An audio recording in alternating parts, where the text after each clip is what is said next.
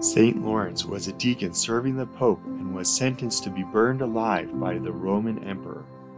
He is the patron saint of comedians because of his last words attributed to him as he was grilled alive. Here at Saint of the Month Subscriptions, we curate boxes on the lives of the saints. Boxes like our St. Lawrence box teach you about the saints as you get custom crafted gifts of the featured saint. You also get goals that challenge you to act, think, and pray like that saint.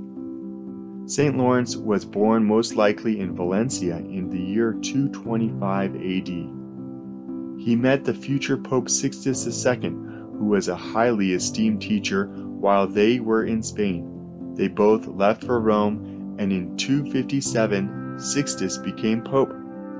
The newly elected Pope Sixtus II appointed St. Lawrence as one of the seven deacons of Rome. He was the Archdeacon of Rome, which meant he was in charge of all the treasures of the church and the distribution of alms.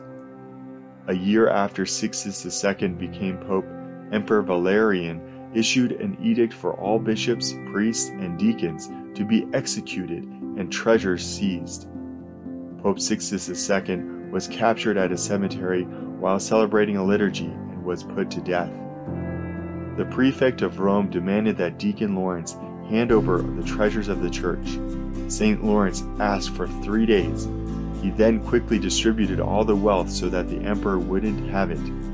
Then on the third day, he gathered the poor, the crippled, and the blind, and he told them, These are the true riches of the church. And he continued and said, The church is truly rich, far richer than your emperor. Behold, in these poor persons the treasures which I promise to show you, to which I will add pearls and precious stones, those widows and consecrated virgins, which are the church's crown. In the Saint of the Month box, a gift includes a treasure box titled The Treasures of the Church, and inside you will find the Saint Holy cards of the poor, lame, and blind. The prefect was so angry. He prepared a gridiron hot coals beneath it, and had Lawrence placed on it. As St. Lawrence was being burned alive, he cheerfully declared, I am well done on this side, turn me over.